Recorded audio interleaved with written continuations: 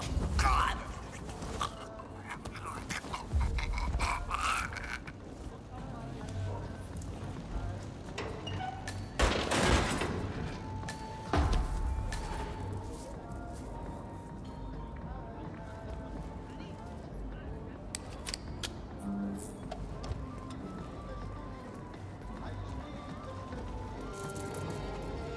Hey there, again.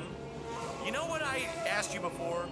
Well, let me ask it again, differently.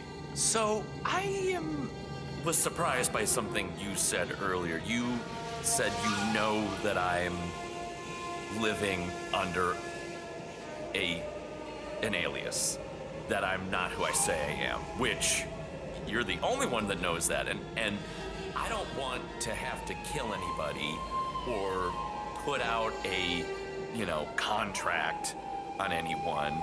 But if people found out, like my boss at my job found out I wasn't who I said I was, well, things would have to happen. People would have to be dealt with. And I'd rather that not happen. So, is there any way you could tell me who knows my real identity so I don't have to kill them?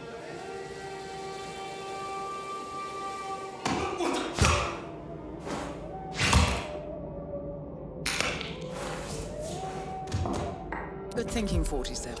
It's time to read Mendola his misfortune. Pardon the pun.